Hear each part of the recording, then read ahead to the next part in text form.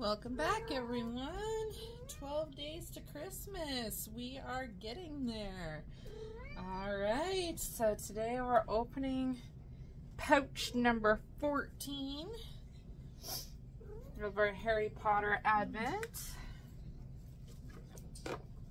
And pouch number 14 is this small one right here. And it has a little picture of the Hogwarts castle. And there we go. All right.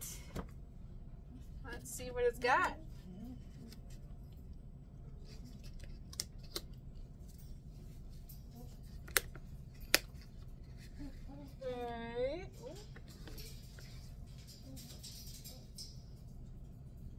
Oh, it's a sticker.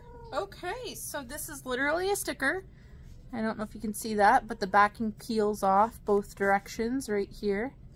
And it's literally a Hogwarts crest sticker. So you can use that wherever you want to use it. Oh, that's cute. So there you go. That's day number 14. It's a Hogwarts sticker.